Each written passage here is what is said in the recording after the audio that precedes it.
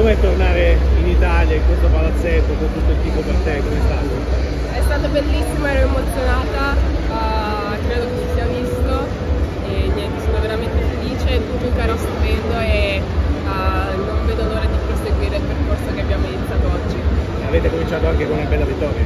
Sì, sono molto contenta. Questo era quello che ci aveva chiesto Matt, quindi siamo felici, continueremo a lavorare e a creare la nostra. Questi capelli biondi? Così cambio look, stravolgiamo un po' le cose. Hai già parlato con Giuditta? Sì, sì, sì, abbiamo chiacchierato, non mi ha murato, meno male! Non era la fine. Grazie. Grazie.